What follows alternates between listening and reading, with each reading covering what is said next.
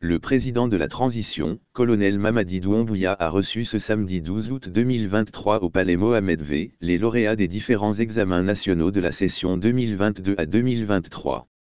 À cette occasion, le chef de l'État guinéen s'est engagé à uvrer pour la continuité du processus de valorisation du système éducatif. Selon le président Douambouya, cette cérémonie solennelle était placée sous le sceau de la célébration de l'excellence. Ainsi, par ce geste, note-t-il, je réaffirme mon engagement à uvrer pour la continuité du processus de valorisation de notre système éducatif, tout en soutenant l'excellence et en encourageant une émulation saine au sein de nos diverses structures d'enseignement. Il précisait qu'ils sont plus d'une centaine de jeunes élèves qui sont lauréats des différents examens scolaires.